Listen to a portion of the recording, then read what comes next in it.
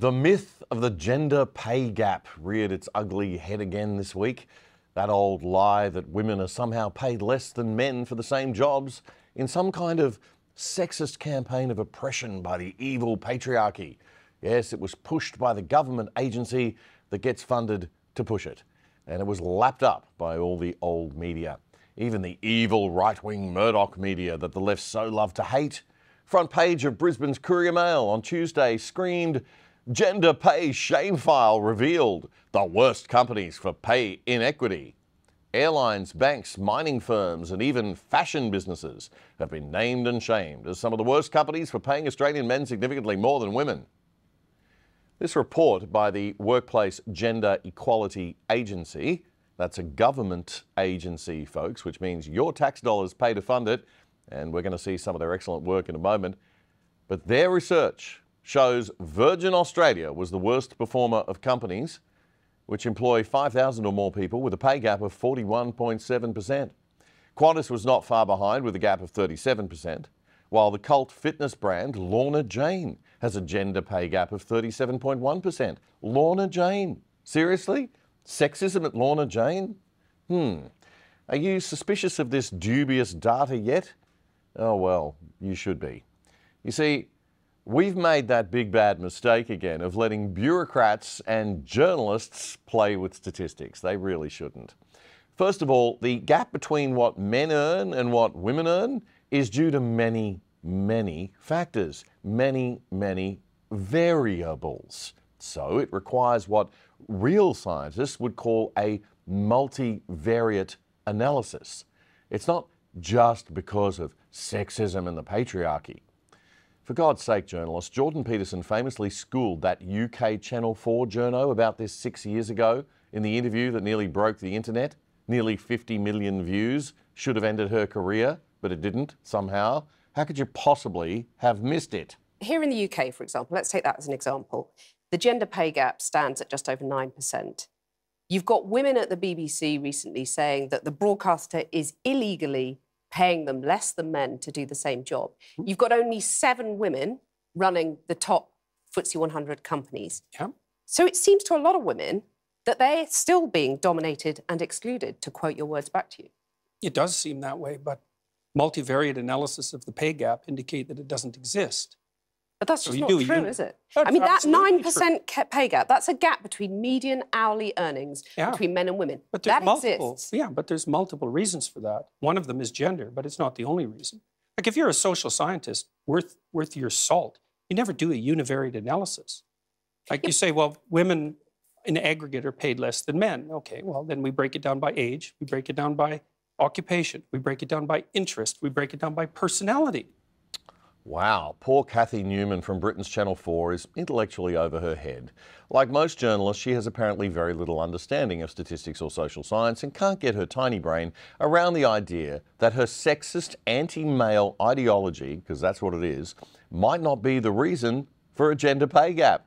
It might actually be partly due to many other factors, like, hmm, I don't know, women choosing different kinds of jobs, not something the government needs to fix or women being less likely to ask for a pay rise, something we probably should fix, but which has nothing to do with sexism coming from men. Despite not having this basic level of intellectual capability, I bet Cathy Newman earns pretty good money over at Channel 4. Anyway, back to the classroom. But you're saying basically it doesn't matter if women aren't getting to the top because that's what's skewing that gender pay gap, isn't it? You're saying, well, that's just a fact of no, life. Women aren't necessarily matter. going to get to the top. No, I'm not saying it doesn't matter either. You're saying, saying there are multiple life. reasons for it. Yeah, but those reasons, why, why should women put up with those reasons? Why should, why should women, women, be content I'm not, not saying that they should the put up with it. I'm saying that the claim that the wage gap between men and women is only due to sex is wrong. And it is wrong. There's no doubt about that. The multivariate analysis have been done. Well, so I, I can give you, you an example. You keep on talking wait, about multivariate analysis. Let me give you an example. I'm saying that 9% pay gap exists. Yeah. Yeah. That's a gap between men and women. I'm not saying why it exists, but it exists. Now, yeah, if you are a woman, that seems pretty unfair. You have to say why it exists. But do you agree that it's unfair? If you're a woman... Not necessarily. And on average, you're getting paid 9% less than a man. That's not fair, is it? It depends on why it's happening. Poor Jordan. Honestly, it's like watching Albert Einstein being interviewed by Lisa Wilkinson. It's just not a fair fight. She is so out of her depth. Poor old Cathy couldn't cope with the idea that some people, including women, might actually not want to take on high paying, high stress roles and may voluntarily step away from them. Shocking. Do you agree that you would be happy if that pay gap was eliminated completely? It because would that's depend- all the radical feminists are saying. It would depend on how it was eradicated and how the how how the disappearance of it was measured. And you're saying if You it's at the cost of men, that's a problem. Oh, there's all sorts of things that it could be at the cost of. It could even be at the cost of women's own interests. So Because they might not be happy if they get equal pay. no, because it might interfere with other things that are causing the pay gap that women are choosing to do. Like having well, children. well, or choosing careers that actually happen to be paid less, which women do a lot of. But why shouldn't women have the right to choose not to have children or the right to choose those demanding careers? They do. They can.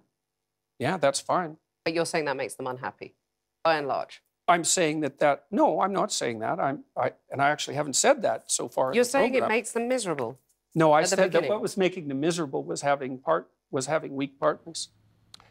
And once Jordan got back to talking about what was wrong with men, Cathy was happy once again. So that interview has been viewed 47 million times on YouTube. Yet the old legacy media keep on wheeling out stories about the gender pay gap without asking the all important why question. Someone who did ask the why question about six or so years ago, right here in Australia, if any journalists would care to look it up and do their damn job, was former Senator David Leyonhjelm of the Libertarian Party. He asked it of the leaders of this workplace gender equality agency that we all pay for with our tax money, and which should be shut down, by the way. And this was at a Senate committee hearing after 2016 data came out. The agency reports a workplace gender pay gap comparing male full time employees and female full time employees. But male full time employees work longer hours on average than female full time employees. And the agency doesn't account for this when reporting the workplace gender pay gap. Sorry? What? Men work longer hours than women in full time employment, but they don't even bother to take that into consideration? In other words, they are deliberately distorting the data to get the outcomes they want. Surely not. I'm sure the agency's Libby Lyons can explain. The gender pay gap as at May 2016 was 15.7%. It is a survey it is a survey of employees, that information from the ABS. It's not a census. Um, and it's only conducted every two years. They only collect the data every two years.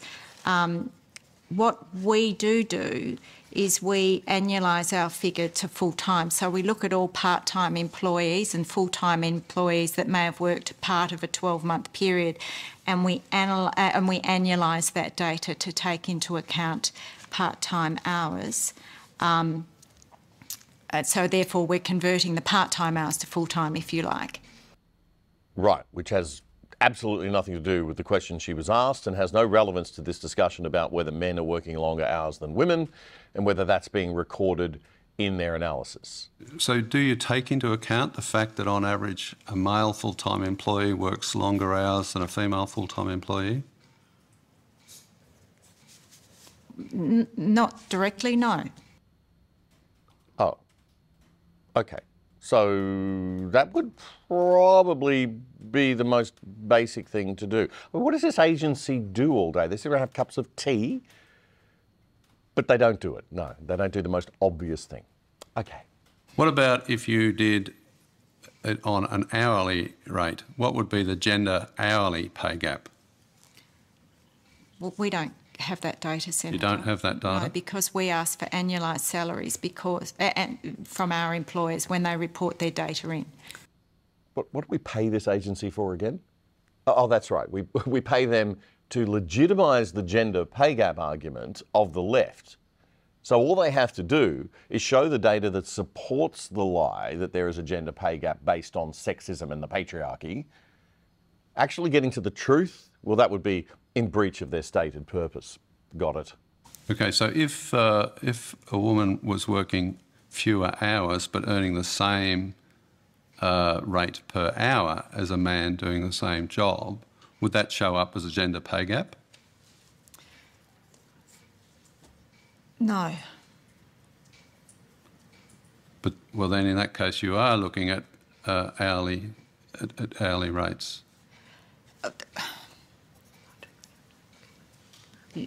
Um, Janine Bredehoeft, Research and Analytics Executive Manager. So um, we do not we do not collect the real hours that an employee might have worked. So what we do collect is the hours that are specified in a contract, and that is provided by organisations to us. If that makes sense. Mm-hmm. Yeah, but I mean, uh, if you, do you annualise it on the assumption that men and women are working the same number of hours, or is it actual earnings? It's actual earnings, and we are unable to. It, we don't have the data to distinguish uh, or to to then unadjust for, or adjust for hours because yeah. we are can, we are not we cannot collect the real hours that employees are worked. Okay, so let's be clear here. They know that there's a pay gap, but they can't tell you if that's related to the number of hours worked. So anything they claim about a gender pay gap due to unfair pay based on sexism has zero basis in fact. The president of Argentina, Javier Milei, would have shut this agency down immediately after that and sacked a lot of them. These people are nothing but ideological warriors for the left, sponging off taxpayers and the productive people of our society. But not Australia, no, no. We don't sack people for incompetence. We're, we're too busy tearing down our competent people and making them as incompetent as everyone else so we can all look equal. Equal, so important to be equal. No, these guys lived on to fight another day, and they gave us the BS data that has been lapped up by the media this week in headlines like this. And that is supposedly the Murdoch right wing media, by the way. Imagine what our left wing media are saying. God help us.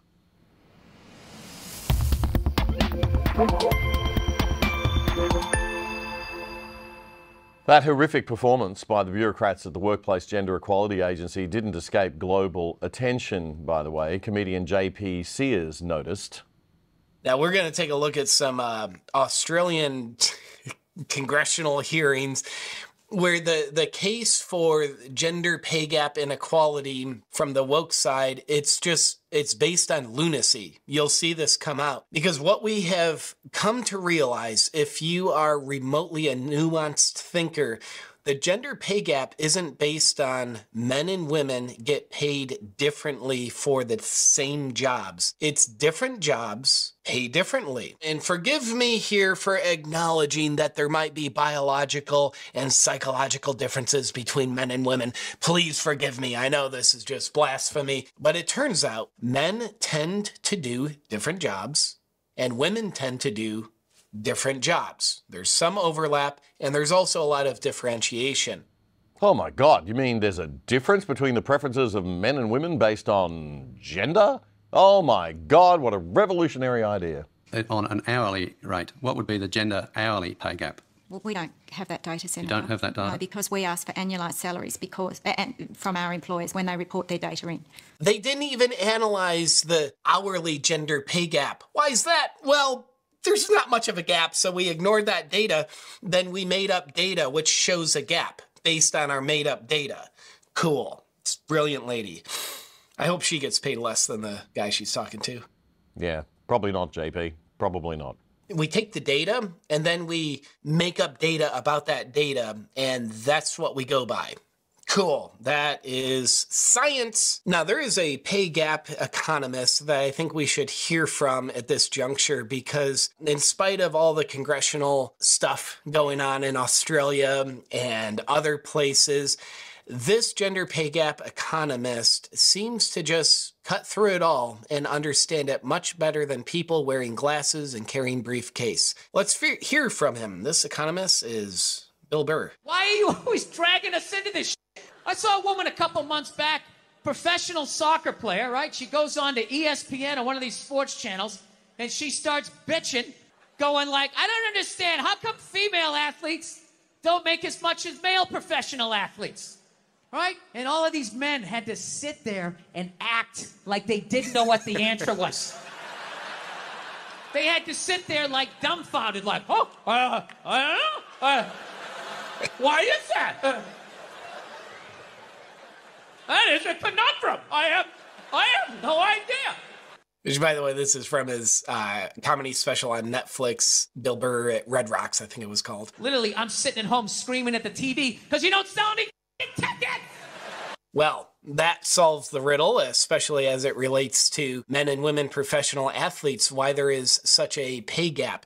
It's called capitalism. If you generate more revenue, you are typically rewarded as such. If you don't sell many tickets, what do you expect to get paid from? This isn't a communist country where there's equal outcomes. By the way, all those outcomes are equally crappy for everybody. This is called capitalism. Yep, comedian JP Sears there with a little help from Bill Burr, bringing some sanity back to this insane idiocracy in which we all seem to live.